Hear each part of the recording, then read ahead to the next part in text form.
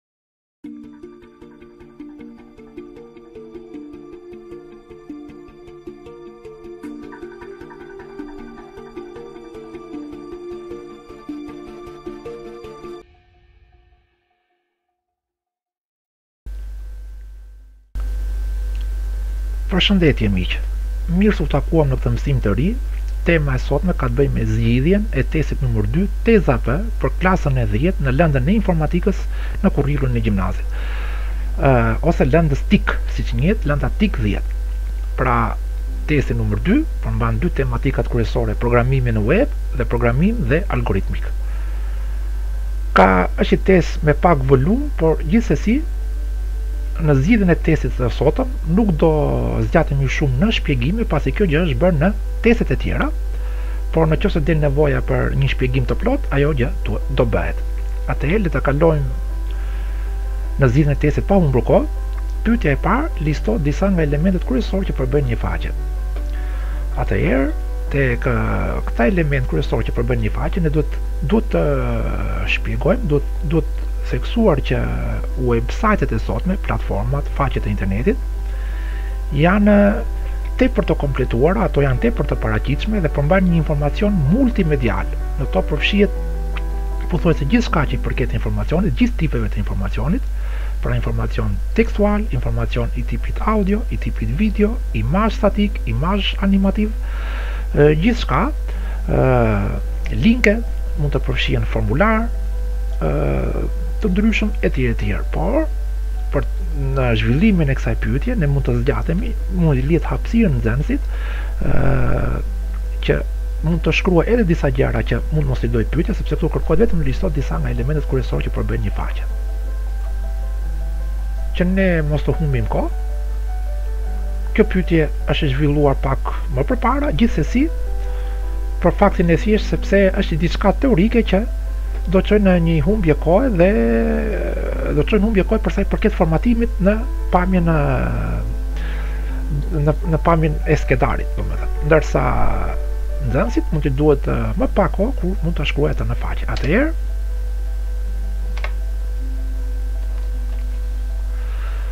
këtu janë dhënë një, një tip shpjegim dhe ky jo shumë i zgjatur, por gjithsesi Pra, për sa i përket informacioneve që përbëjnë një faqe interneti, disa elementë janë kemi informacione tekstuale, imazhe statike në formatin GIF, JPG, PNG ose formate vektor në formatin SVG ose Flash, imazhe të animuara, animated GIF, që mund të realizohen me Flash Macromedia për shembull apo me Photoshop CS6 etj etj. Imazhe SVG, Flash, pra Shockwave apo edhe imazhe që realizohen me Java Applet. mund të kemi informacion të tipit audio, fal, jo imazhe me Java Applet, mund të kemi Java Applet aplikacione, mund të kemi skedar në formatin pikë MP tre, audio për shembull, video në formatin MP katër, WMV, që është për Windows, WMV, mund të themi që është format videoje, pra Windows, Windows Media Video, kështu përkthehet kjo. Ë është format video për platformë për uh, sistemin operimit Windows. FLV, Flash Video e tjera e tjera. Por mund edhe kemi informacione interaktive. Në këto informacione nderaktive janë informacione për uh, Ndërveprim brenda faqes, për shembull, mund të kemi tekst nderaktiv apo ilustrime nderaktive duke filluar nga imazhe click to play, click to play kliko për të luajtur këtë imazh deri tek lojërat. Këtu mund të vendosim një kllapë rrethore, pra edhe këtë mund ta formatonim për një sqarim më të mirë, pra mund t'i formatonim këto me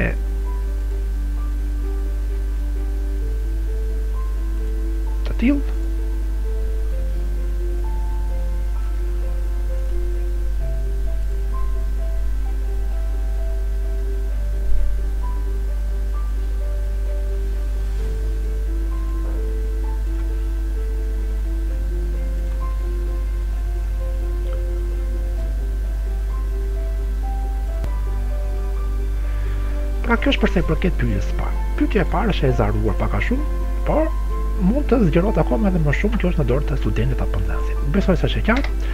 Kalojmë te zhvillimi i pyetjes së dytë. Cili nga opsionet më poshtë tregon një gjuhë programimi për web? Atëherë C++, JavaScript dhe C të trija C++, JavaScript, C dhe Visual Basic. C++, C dhe Visual Basic janë gjuhë programimi për aplikacione. përgjigja e saktë do ishte vetëm JavaScript. JavaScript tregon një gjuhë aplikimi, një një më fal, një gjuhë programimi për web, e dedikuar për webin.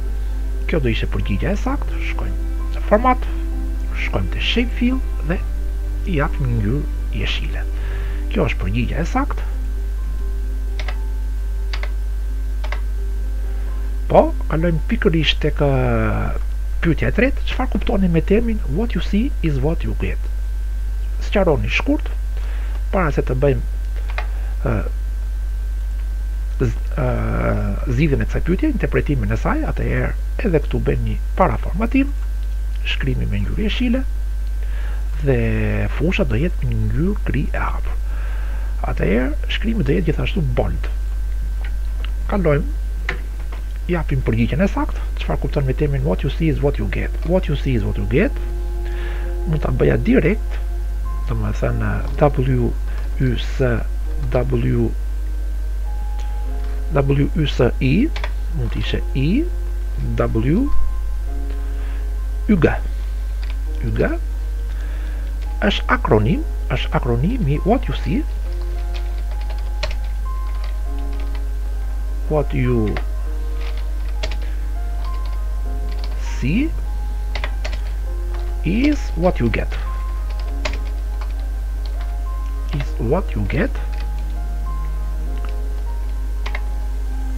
What you get. Pra what you see is what you get. Kjo është, kuptimi, ajo është pikërisht një ndër parimet kryesore që përdoret në platformat komerciale. Pra, mund të themi ajo që shohim është ajo që marrim si rezultat. mund të themi një ndër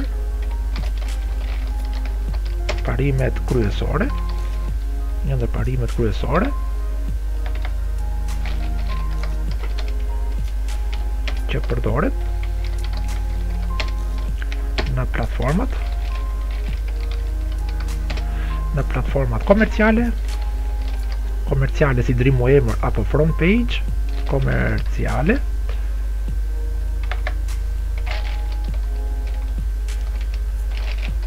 si Dreamweaver apo From Page si Dreamweaver apo Front Page uh, ku ajo që neve shohim është ajo që marrim në rezultat. Këtu nuk nevojitet shumë kodim apo programim. Pra, ku ajo që shohim është ajo që marrim si rezultat.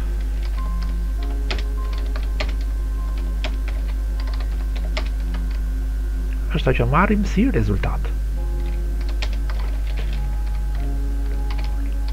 Si rezultat Pikë. Besoj se është e ezauruar dhe kjo pyetje, what you see is what you get. Një ndër parimet kryesore që përdoren në platformat komerciale si Dreamweaver apo Front Page, ku ajo që shohim është ajo që marrim si rezultat. Besoj se pyetja është e ezauruar, e, e ezauruar. Kalojmë pikërisht tek zhvillimi i pyetjes tjetër.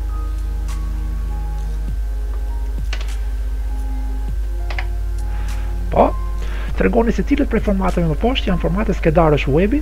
Edhe kjo pyetje është një pyetje mjaft e thjeshtë. Atëherë HTML, sigurisht është një format webi. Po e formatoj me ngjyrë jeshile. Është e saktë..cpp,.cpp nuk tregon format webi..cpp tregon format skedarësh në që janë zhvilluar në gjuhën e programimit C++, pra skedarësh C++. Atëherë nuk është format. Ëh,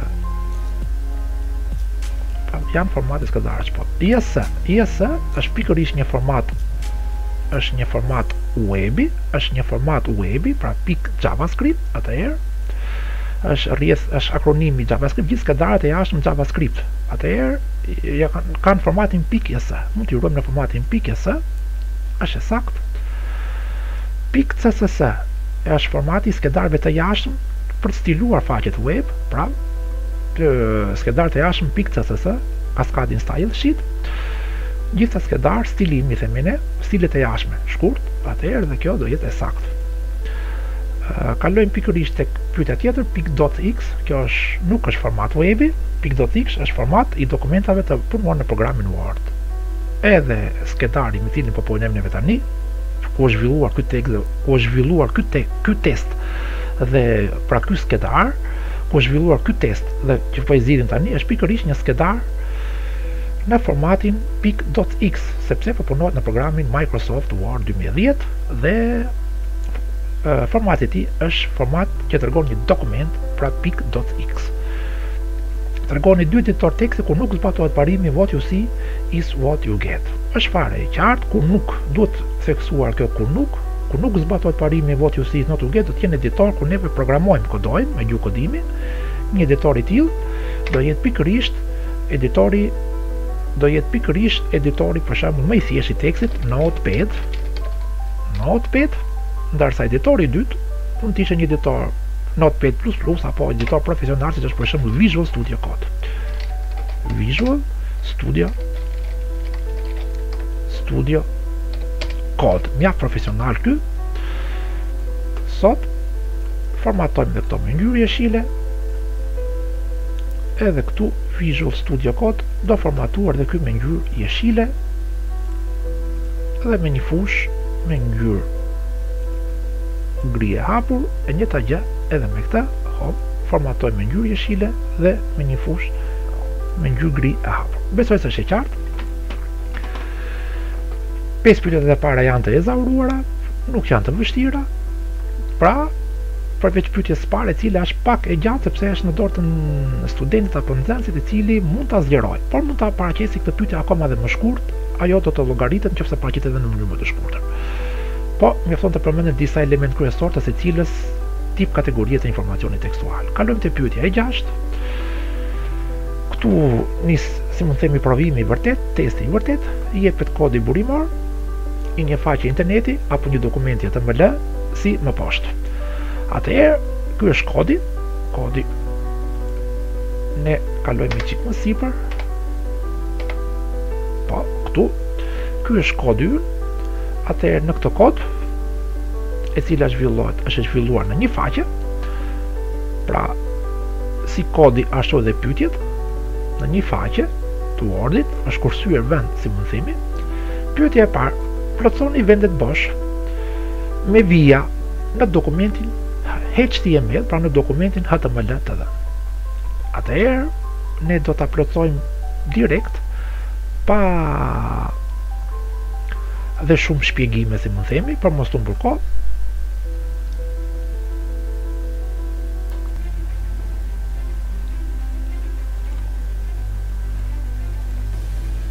Atëherë, kemi disa vende bosh, këtu kemi dokumentin HTML në head section, që është kreu i dokumentit, kemi pikërisht një përmbajtje.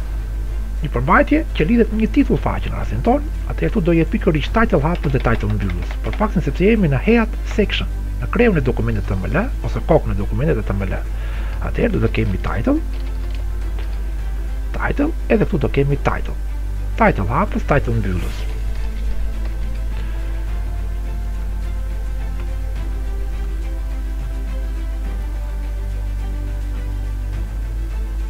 E njëjta gjë dhe këtu, zgjidhjet do jenë me ngjyrë jeshile, jo me bold, meqenëse dhe ajo nuk është me bold, e la pa bold dhe këtë, title hapës dhe title mbyllës. Në Head Section gjithashtu kemi të zbatuar disa stile të brendshme. Këtu kemi një selektor, një selektor klas, sepse kemi një pik me emrin div stil. Kemi dhe një selektor ID me emrin moda. Të dy këta selektor, kur zbatohen në elementë të ndryshëm shërbejnë për t'i stiluar ata dhe për t'i identifikuar. Në rastin tonë, div stil na shërben kur zbatohet në një element të caktuar, ai do ta stilojë sipas këtyre stileve që janë përcaktuar këtu. Na janë dhënë disa atribute, disa stile, Këtu kemi një atribut, pra një stil, një property, një veti, text, vijë, vendi i dytë është bosh dhe center. Kjo tregon një pozicionim, këtu kemi një pozicionim.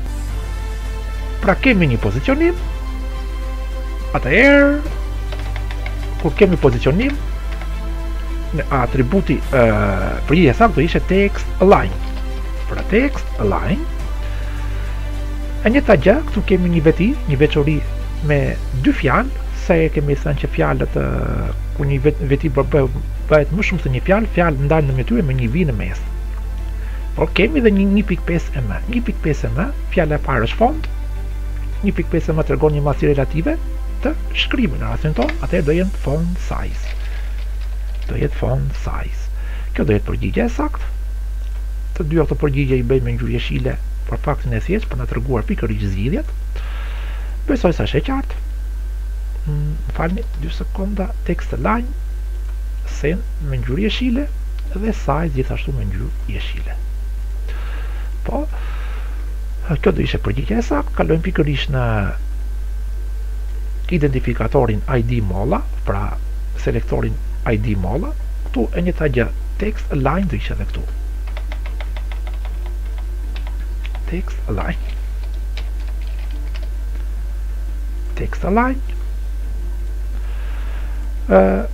shohim që kemi është mbyllur me kllapa gjarpërushe pikërisht veçoritë e ID-së, e selektorit me e selektorit ID molla kemi një vend bosh përsëri kemi një vend bosh kemi head style hapës është hapur por nuk është mbyllur style hapës atëherë këtu do jetë këtu shoqërohet pikërisht me tagun mbyllës style pra style mbyllës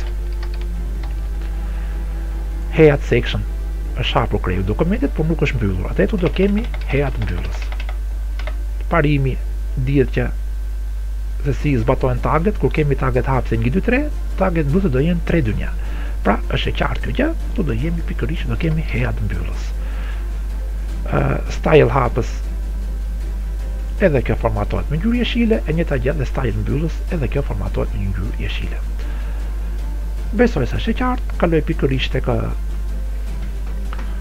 tek pjesa tjetër, këtu kemi disa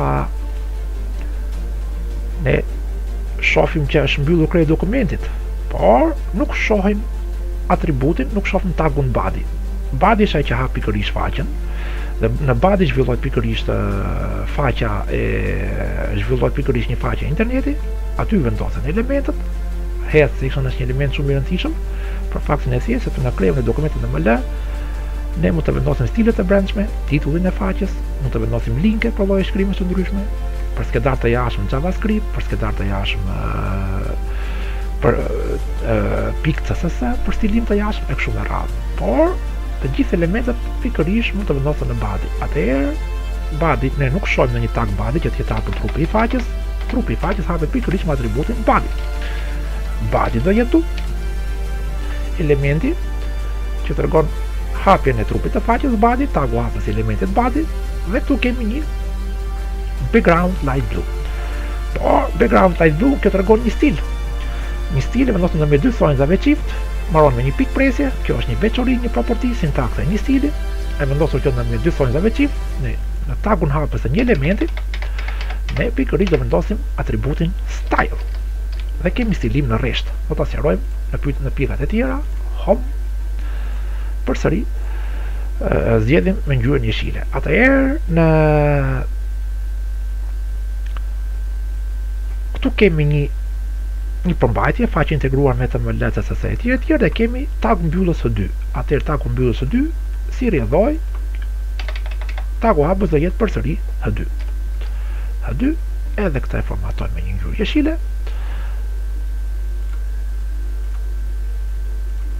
po elementë të tjerë ku janë në bosh përsëri këtu të tjerët janë të plotësuar shkojmë këtu kemi një imazh imazh img tagu tagu img imazhet nuk shoqërohen me tage mbyllëse, ato janë tage tek ose bosh dhe shofim që këtu kemi një foto IT 01, title foto rreth IT, e tjere, e tjere. Por, në një imazh, një atribut kryesor, që tregon pikërisht vendin ose adresën ku neve do ta marrim pikërisht një foto të caktuar, është atributi image src. Source SRC këtu do kemi atë SRC përsëri edhe këtë e mbushim me ngjyrë jeshile dhe kalojmë pikërisht tek këtu do kemi këtu kemi titullin e fotos rreth IT këtu kemi një përmas një dimension i cili është bosh, mund të ishte width ose height, por height është dhënë, atëherë këtu do jetë pikërisht width. Kjo tregon gjerësinë e fotos, width. Kjo tregon gjerësinë e fotos, width. Përsëri dhe këtu, do ta vendosim me një ngjyrë jeshile. Pra, kjo është pak a shumë përsa i përket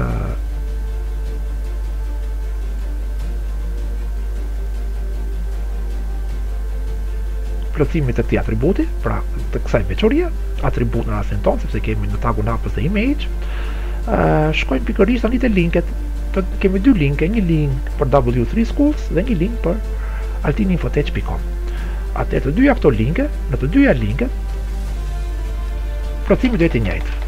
Atributi kryesor për të vendosur një link është href hypertext referencial re, referencial, pra hypertext referencial, hypertext referential, siç mund thuash ndryshe, href. E njëjta gjë edhe këtu href.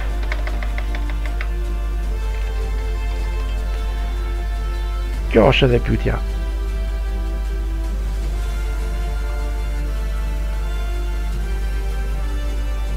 Plotësimi i këtyre dy vendeve tjera bosh, në fund fare, dy këto, këtu mbaron dokumenti HTML, Por ne kemi pa mbyllur dokumentin HTML, kemi pa mbyllur dhe body, body-n e hapur, do ta mbyllim pikërisht me body,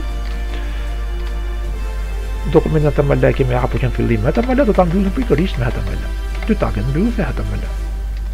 Besoj se është e qartë, edhe këto këtu, i, i formatoj me ngjyrë jeshile. Pika e parë është e ezauruar, kalojmë pikërisht te pika e dytë, tregoni elementet ku është zbatuar metoda e stilimit në rresht inline, atëherë bëj një formatim me ngjyrë jeshile dhe me ato formatime që sapo përmendëm këtu po e bëj me ngjyrë të bardhë pikërisht vendin ku do ta plotësoj këtë pyetje atëherë ku është zbatuar metoda e stilimit në rresht apo inline dhe me të vërtetë në elementin strukturor body shohim një me stil sfond ngjyrë jeshile e hapur dhe gjithashtu do t'i marrim të gjithë elementet me radhë duke ecur, këtu kemi stilim të brendshëm, stilim të brendshëm. Gjithashtu edhe këtu kemi div, pra elementi strukturor div. Pra dy janë elementet ku janë zbatuar stilet e ku janë zbatuar stilet e në rresht, elementi strukturor body dhe div. Atëherë elementet strukturor body dhe div elementet strukturor body dhe div besoj se pyetja është e ezauruar e njëjta gjë body dhe div pra trupi i faqes dhe elementi div është e qartë është e ezauruar nuk ka nevojë më për shpjegim E treta, tregon elementet që janë stiluar me metodën e brendshme, internal style sheet, përsëri e fshi, edhe këtu të bëj një para formatim, ngjyrë jeshile, shkrim i bold dhe me ngjyrë të bardhë. Atëherë ku janë, cilët janë elementet të cilët janë stiluar në mënyrë të brendshme, unë shoh selektorët. Dy janë selektorët kryesorë, selektori div stil, që është selektori klas, dhe selektori ID molla, me emrin molla. Atëherë do shoh do i shoh elementet ku janë zbatuar këta selektorë. Është pikërisht paragrafi me ID molla, është dhe elementi strukturor që tregon një seksion div me klas div stil. Këta të dy element janë stiluar me sa shoh me mënyrë të brendshme. Atëherë pra ne do themi elementi do thoshim elementi strukturor elementi strukturor elementi strukturor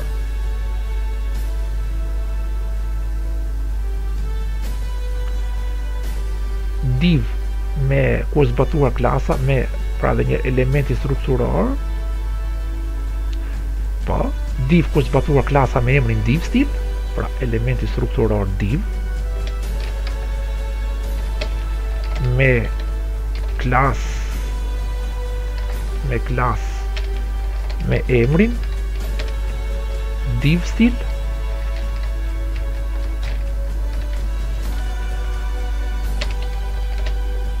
dhe elementi dhe elementi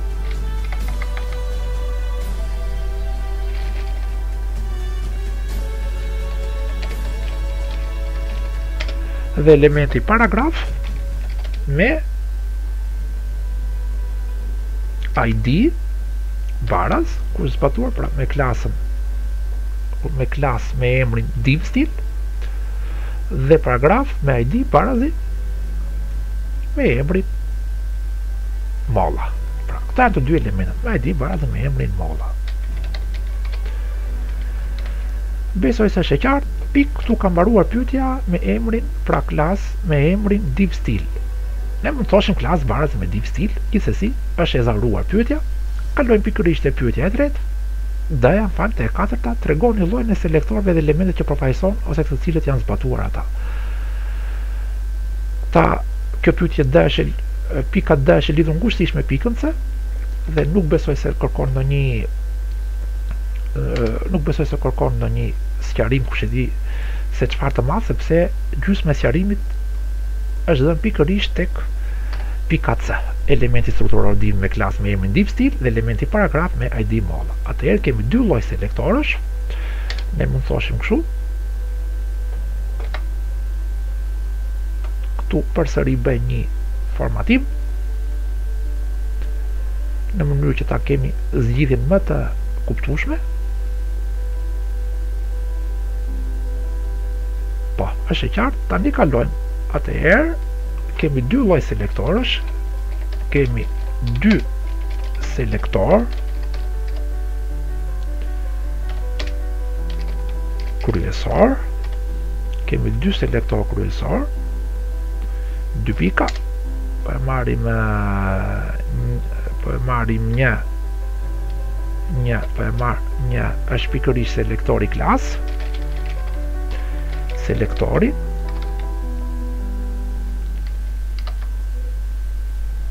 selektori klas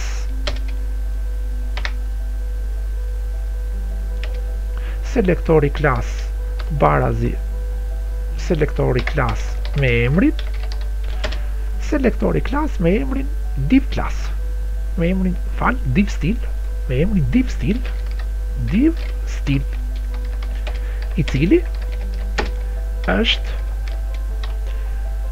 i cili është zbatuar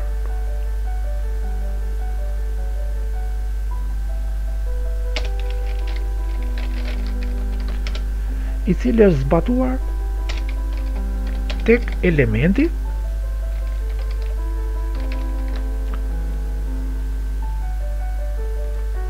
i cili është zbatuar tek elementi e thamë me emrin div stil është zbatuar tek elementi strukturor div tek elementi strukturor div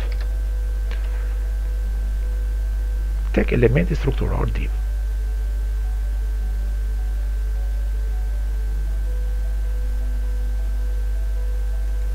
besoj se është e qartë kalojmë pikërisht tek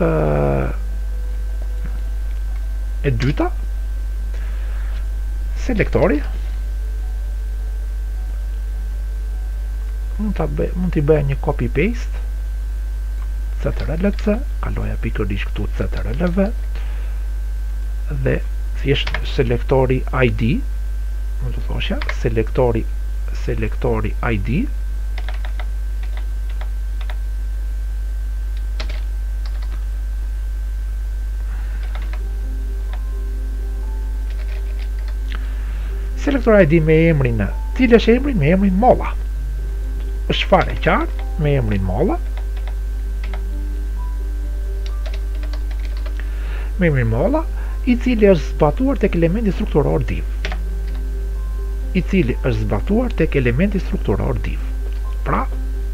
Ne mund të thoshim selektori ID me emrin Molla, i cili është zbatuar tek elementi strukturor, jo te elementi strukturor, po do thosha te elementi paragraf,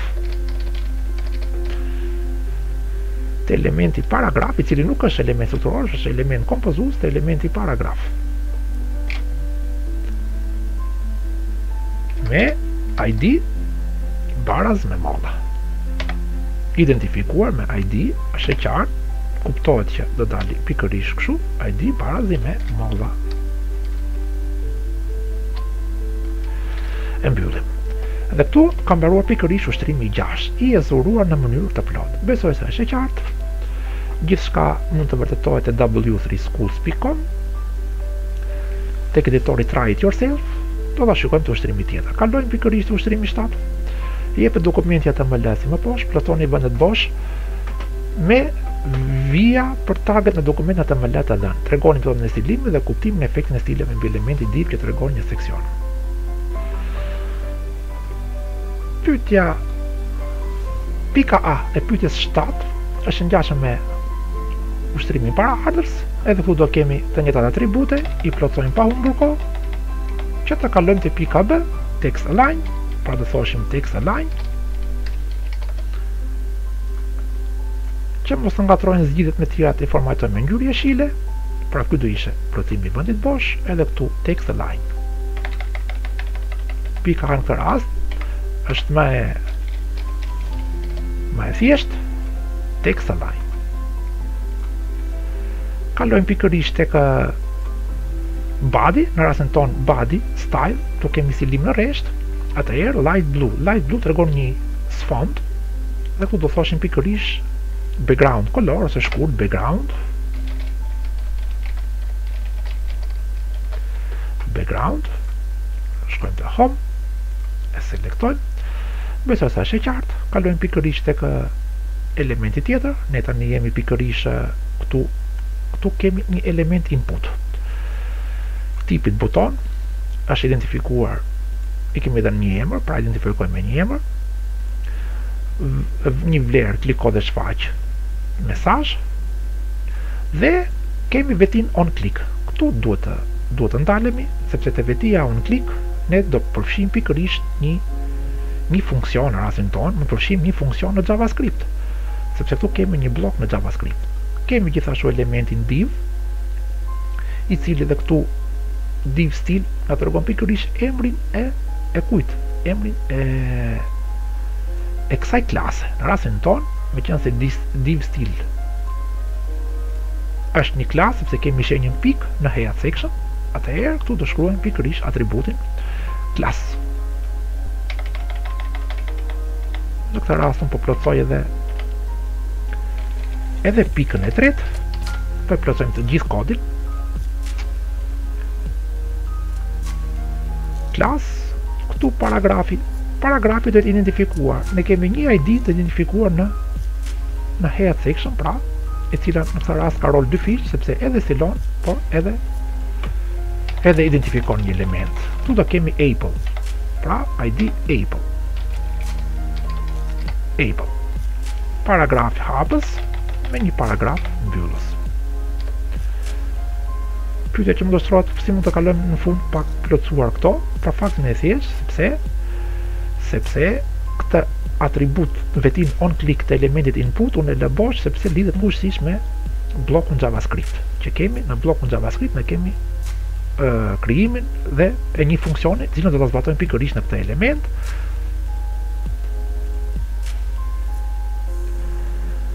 besoj se është e qartë tani Kemi këtë blok JavaScript. Të gjitha script-et, siç e kemi thënë, mund të vendosen në çdo pjesë të dokumentit HTML, por rekomandohet në fund të body-t. Dhe këtu e kemi gjithsesi, është është në fund të body-t, pra të elementit body.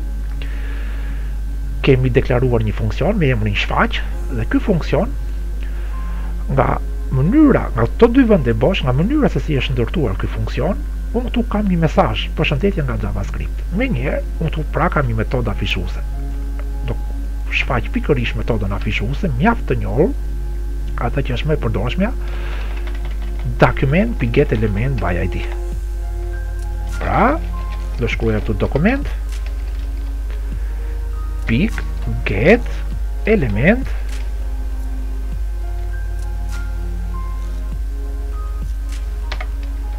dokument pik get element e-ja me të madhe e-ja me të madhe javascript është case sensitive element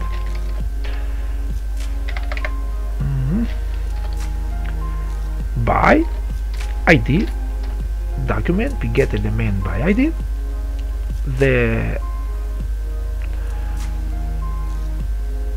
id-ja cila do ishte id-ja do ishte pikërisht elementi që identifikohet apple këtu me ngjyrë jeshile po atëherë këtu do vendos midis kllapave rrethore, këta do të mbaj mend nxënësi, këtë metodë. Document pikë get element by ID. Në thonjëza çift, do themi molla. Kjo është ID-ja e vetëm që kemi. Për të afishuar një element, do përdor pikërisht metodën pikë inner html. Inner html. Edhe këta, të gjithë, unë do t'i bëj me një ngjyrë jeshile. Besoj se është e qartë, kjo është pak a shumë zgjidhja e këtij funksioni, pra ne kemi funksionin shfaq, ku me emrin shfaq, i cili në këtë funksion është zhvilluar kjo metodë. Pra, ky është funksion afishues. Afishon pikërisht të përmbajtjen përshëndetje nga JavaScript. Këtu mbyllet skripti, atëherë ky funksion do të thirret pikërisht nëpërmjet vetisë onClick të elementit input. Atëherë shfaq mund ta kopjoj këtë shfaq me dy kllapat rrethore ctrl c shkoj pikërisht këtu dhe jap ctrl v dhe besoj se kam plotësuar të gjithë kodin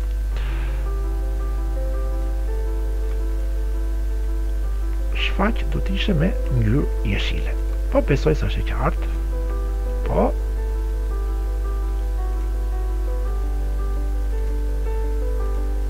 Po.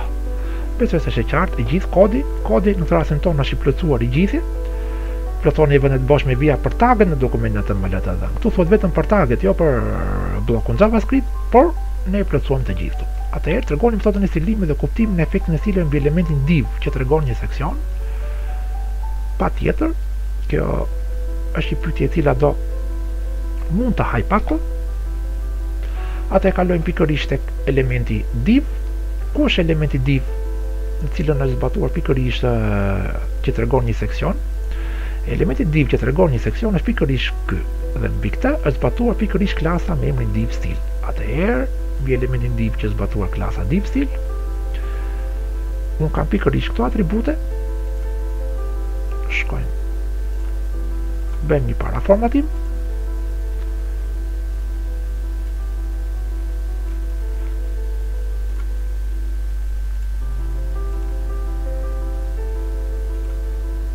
Po, atëherë vazhdojmë e e zhvillojmë pyetjen, atëherë ne më thoshte me treg me treg, tregoni metodën e stilimit, stilimi i brendshëm. I brendshëm. Stilimi i brendshëm. Ky është për sa i përket stilimit, efektet e stileve. Kush janë? mbi elementin div. Elementi div është element struktural, ku është zbatuar një stilim i brendshëm dhe ka këto efekte. Këto efekte, atëherë, efektet po marrim me sfondin me kod hexadecimal dhe sfondi me kod hexadecimal hexadecimal të dhënë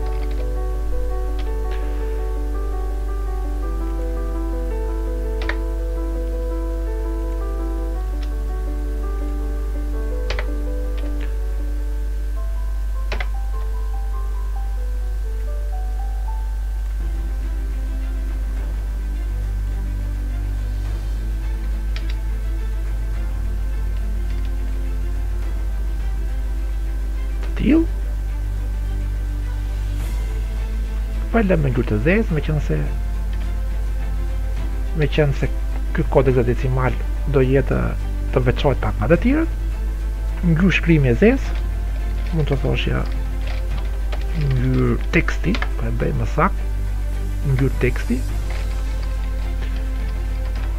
e zezë presje kornizim pra kornizim kornizim me ngjyrë solide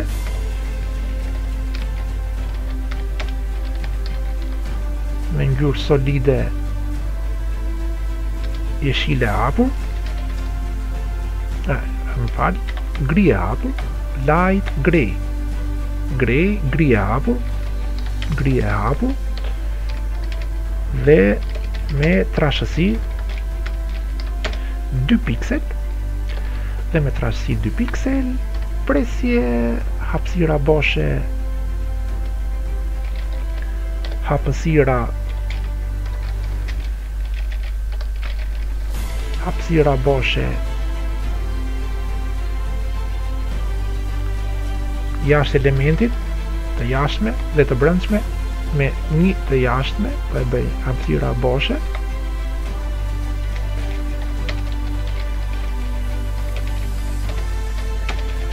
dhe të brendshme dhe të brendshme me një em me madhësi me madhësi relative një em me madhësi relative një em me pozicionim tekstin në pozicionim i tekstit pozicionimi i tekstit në qendër në qendër dhe madhësi shkrimi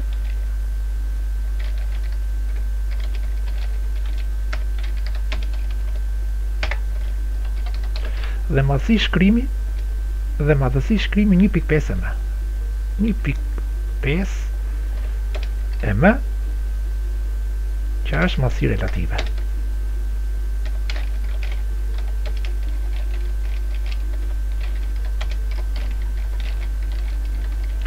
që është madhësi relative por kjo besoj se është e qartë këtu u zhvillua dhe pika B kalojmë te pika C zhvilloni kodin në vendin bosh me vjetën të prera u bë në JavaScript për zbatimin e një funksioni nëpërmjet një metode afishimi me JavaScript në elementin input tregoni se çfarë rezultati do të dalë, do të afishohet nga interpretimi i këtij skripti dhe në cilin element do të paraqitet, afishohet ky rezultat. Zhvilloni pas fletës, ne mund ta zhvillojmë pikërisht në fund. Do të dalë mesazhi përshëndetje nga JavaScript. Atëherë këtu kalojmë më poshtë, kalojmë në një faqe bosh. Ne kalojmë në një faqe bosh. E zhvillojmë këtë ushtrim do thoshim do të shfaqet do të shfaqet mesazhi përshëndetje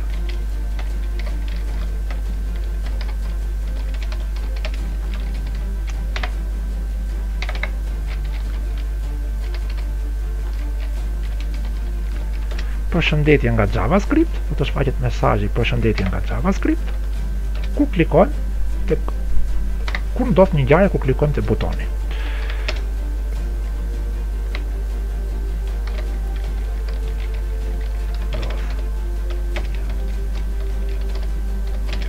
kur klikojmë te butoni.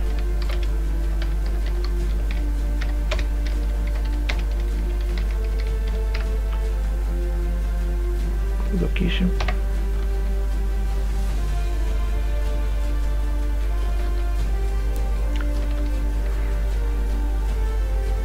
Pavarësisht se sa që dua t'i shmang sqarimet, por kur janë të nevojshme duhen bërë, pra ne këtu kemi funksionin thirret kur ndodh një ngjarje, kur ndodh një ngjarje, rastin tonë kur klikojmë tek butoni. Kjo pyetje është ezauruar. Pra, Teoria e shfaqjeve do të dalë nga përfshirja nga interpretimi i këtij skripti në cilin element do të shfaqet ky rezultat. Ky rezultat do të shfaqet pikërisht në paragrafin bosh. Ky rezultat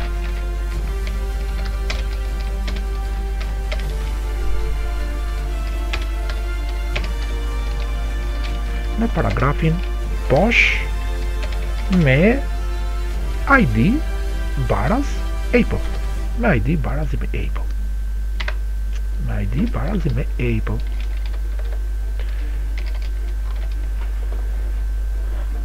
është me se qartë ezauruam pikërisht edhe pikën pikën e fundit të ushtrimit 7 pikën C kalojmë pikërisht te pyetja e 8 pa humbur kohë pra tregoni përparësitë e faqeve dinamike nga ato statike atëherë kalojmë pikërisht bëjmë atë që formatimin cilat janë këto përparësi bold shkrimin i japim dhe një sfond me një gri e hapur atëherë zhvillojmë pyetjen pra faqet dinamike kanë shumë përparësi ndaj faqeve statike por tre janë më kryesoret që po përmendim janë shumë më tepër funksionale dhe unë po përmend pikën e parë pra janë shumë më tepër shumë më tepër funksionale pra website-eve dinamikë, ato janë shumë më tepër funksionale se ato statike se ato statike B-ja do të ishe pra pika B e dyta Pika B ose pikë tjetër, një përparësi tjetër, përditësohen shumë herë më lehtë,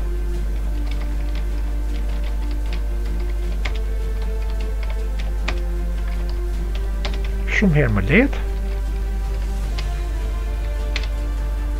Shumë herë më lehtë dhe pika e tretë, pra pika e tretë përditësohen pra shumë herë më lehtë dhe pika e tretë mund të punojnë si një sistem bashkëpunimi ndërmjet stafit dhe përdoruesit. Pra, pika e tretë mund të punojnë, mund të punojnë.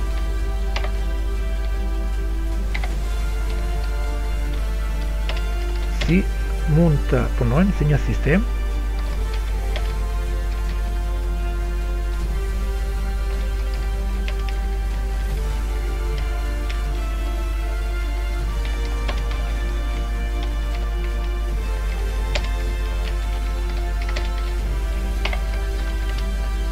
ndërmjet stafit dhe përdoruesit.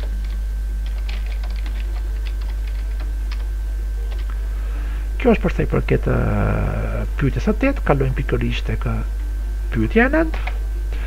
Këto janë tre po bëjmë një korrigjim sintakse shumë herë më lehtë, përditësohen shumë herë më lehtë, mund të punojnë si një sistem.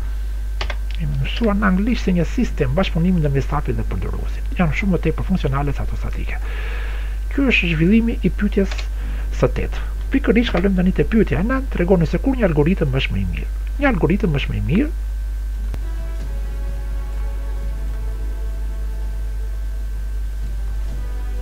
te përgjigjja duhet t'u, po kalojmë Atëherë, formatimet e nevojshme,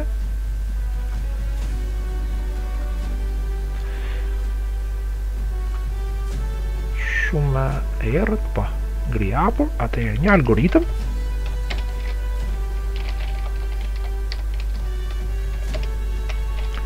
është më i mirë,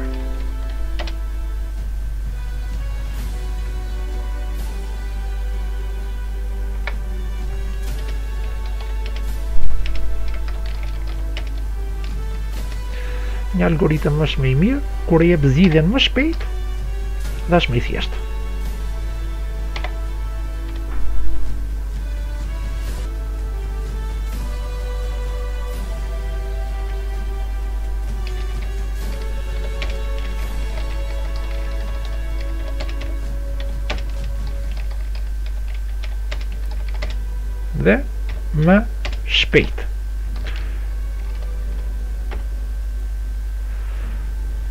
Ky ishte zgjidhja e testit B numër 2 për klasën e 10, besoj se ka qenë një test mjaft formues, për sa i përket secilës nga këto kode mund t'i provoni në Try It Yourself, te W3 Schools, Dhe kalojmë në W3 Schools, pra ky është editori Try It Yourself, këtu mund të kopjoni kodin dhe të shikoni rezultatin në, në pra ky editor, Try, try It Yourself, Try It Editor, pra është pikërisht në, në w3schools.com. Për më shumë, ju mund të vizitoni gjithashtu edhe platformën altininfotech.com dhe pikërisht download files për të parë testet altininfotech.com kjo platformë edukuese në fushën e edukimit në IT në faqen pikërisht download files në download files pikërisht keni testet mund të keni testet të cilat janë janë në skedar të posaçëm pikërisht ja ku i kemi testet në skedar të posaçëm që mund t'i shkarkoni free ose ë kur kemi teste më të komplikuara mund të kenë edhe një pagesë fare të vogël. Gjithsesi, tani për tani këto teste janë free. Të dashur miq, ky ishte mësimi i sotëm, zgjidhja e testit numër 2 teza B për lëndën e TIK 10. Mirë u takofshim në mësimet e tjera dhe në zgjidhjet e testeve të tjera.